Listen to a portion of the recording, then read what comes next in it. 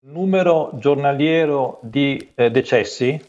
sembra proprio aver raggiunto il massimo e comincia a, de- a, decrescere. Quindi e questa è la cosa importante, vuol dire che eh, la, le varianti che eh, possono portare con una certa probabilità all'ospedalizzazione, terapia intensiva e al decesso, stanno perdendo forza. La famosa Delta che ci siamo lasciati alle spalle a Natale e che evidentemente ha perso forza grazie probabilmente alla grande intensità dell'azione de, di vaccinazione terze dosi che state appena ricordate e, e quindi diciamo, uh, l'effetto complessivo con un tempo che ha richiesto alcune settimane perché i decessi sono l'ultima variabile che diciamo, incomincia a decrescere,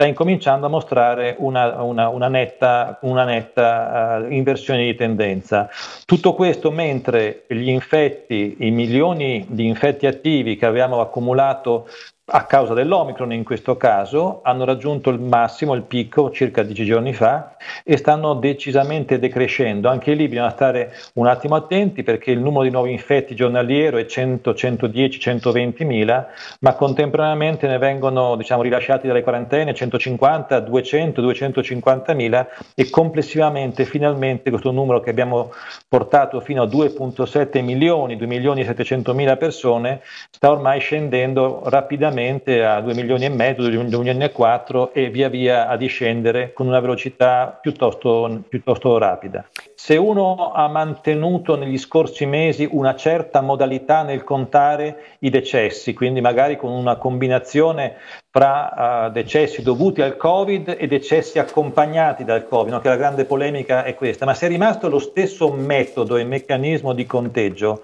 e lo vediamo crescere da novembre fino a gennaio, ma poi iniziare a rallentare e a decrescere da febbraio in poi, vuol dire che qualche cosa sta cambiando nel meccanismo epidemico. Quindi anche certi effetti che possiamo chiamare sistematici, che ci siamo portati dietro sul metodo con cui contiamo, nel momento in cui incominciano a cambiare, ci stanno comunque raccontando che la Delta ha perso molto forza.